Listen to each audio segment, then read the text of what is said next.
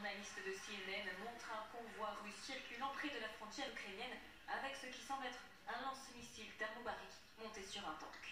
Une arme particulièrement inquiétante pour ses effets dévastateurs. La bombe thermobarique, c'est une bombe qui allie à la fois l'explosion initiale et euh, un système qui brûle l'oxygène et qui en fait étouffe complètement les gens proximité. Elle ne va pas toucher à un endroit précis, elle va neutraliser toute une zone. Pour bien comprendre, ces lance-roquettes multiples tirent des projectiles dits thermobariques. Leur détonation provoque la pulvérisation d'un carburant qui s'enflamme. Ce liquide aspire et brûle l'oxygène ambiant pour créer une seconde explosion plus puissante, plus chaude et plus durable qu'une bombe classique.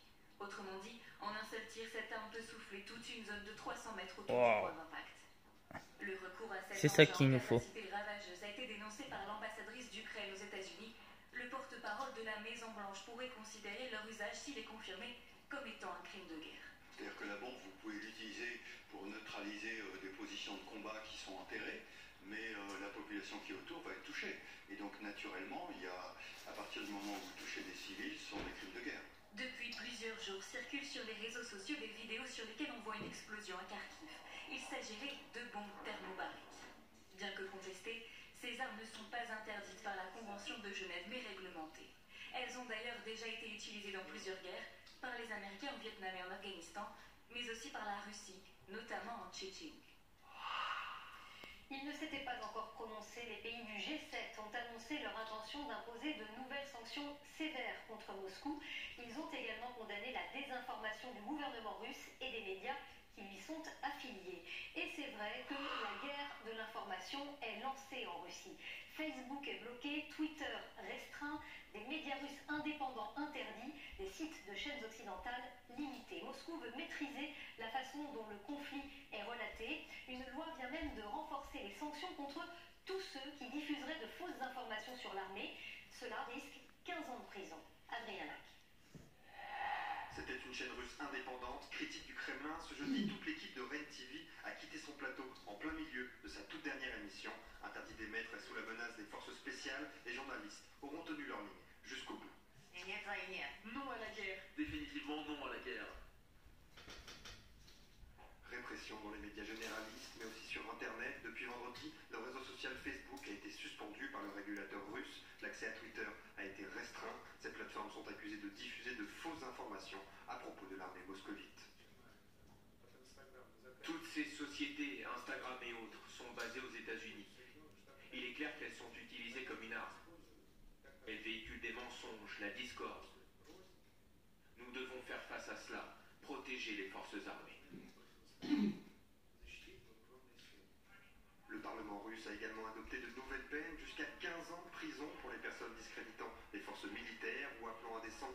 contre la Russie. Manifestants et journalistes, étrangers comme russes, sont visés par ces nouvelles mesures.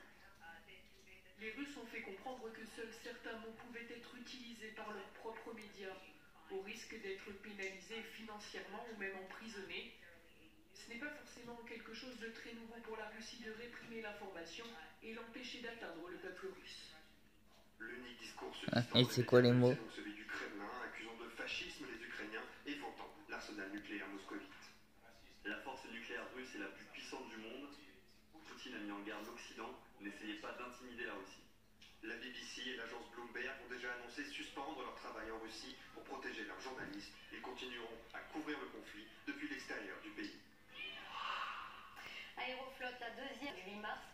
Cette décision fait suite aux sanctions internationales décidées contre le pays. De nombreux espaces aériens sont en effet fermés aux avions russes, des avions qui risqueraient par ailleurs d'être saisis s'ils se posaient à l'étranger. La situation en Ukraine suscite la solidarité. Plusieurs milliers de personnes se sont rassemblées en France aujourd'hui en soutien au peuple ukrainien, notamment à Paris où la place de la République était noire de monde. Dans la foule, quelques candidats à la présidentielle. Bastien Coquel, Pierre-Emerick Dubois et nos Ça va rien changer. Drapeau bleu et jaune sur les épaules, Irina est solidaire de son peuple. Elle vit en France, mais sa famille est en Ukraine. Chaque jour, sa mère tente de la rassurer par téléphone.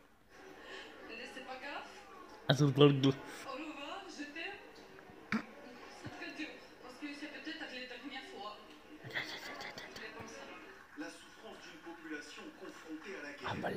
insoutenable pour ces Nîmois. Ces bâtiments détruits, ces gens qui souffrent, femmes, enfants. Ils qu'on s'en bat les couilles. Même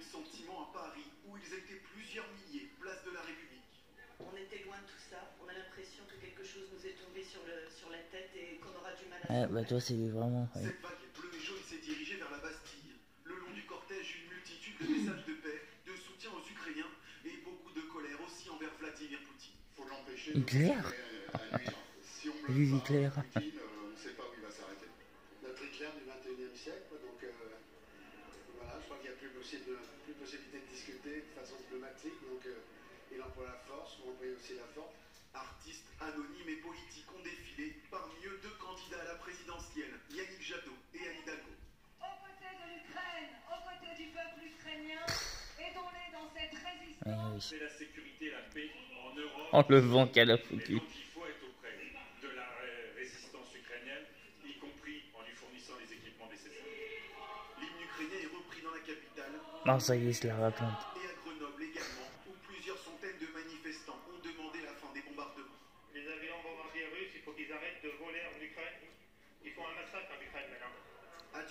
Qu'est-ce qu'on s'en fout. C'est pas en Dans France. cette commune de 3000 habitants, plus de 200 personnes ont marché pour dire non à la guerre en Ukraine. au cœur sur la main, a réussi à mobiliser pour la cause ukrainienne. Il s'appelle Je mettrai même pas un centime. Et il avait déjà fait parler de lui en menant une On a déjà du mal à gagner de l'argent. guinéen soit régularisé. Aujourd'hui, il mène un nouveau combat. Léo Didier Kellner et Mathilde Brun. C'est un hangar rempli de dons. De médicaments, de nourriture, de vêtements ou encore de jouets à destination des réfugiés ukrainiens. Depuis cinq jours dans le Rien du tout. de solidarité s'est lancée et a même dépassé les espérances. Même pas un centime. Je mettrai. À la base, j'étais juste venue déposer des choses et en fait, je me suis retrouvée dans les frais récents. Une effervescence qui a conduit 500 bénévoles en herbe à venir aider à empaqueter près de Moi, je vous donne ça. Voilà, je vous donne ça.